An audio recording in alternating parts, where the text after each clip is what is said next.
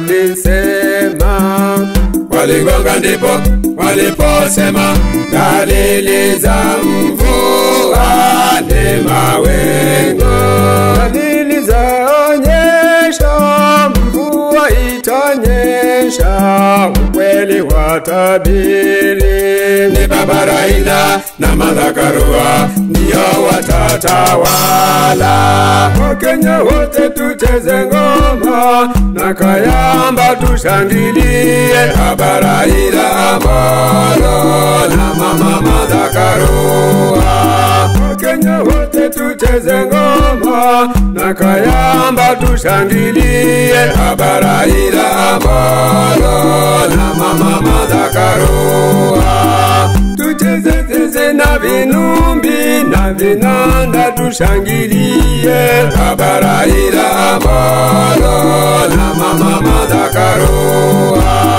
tuchezezeze na vinumbi na vina ngatushangirie abarayira amoro na mamama zakaroha umampya wa uongozi injini kenya abarayira amoro na mama aroha kumum yawa uongozi nchini Kenya kabara ila Amolo na mama Madakaroha baba na mama viongozi nchini Kenya kabara ila Amolo na mama Madakaroha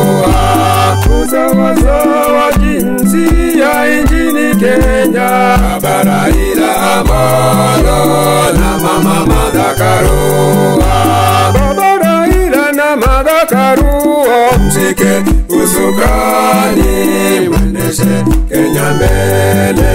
wakenya wote twasema ni nyinyi msike usukani mwendeshe kenya mbele sitie shaka utawarani wenu msike usukani mwendeshe kenya mbele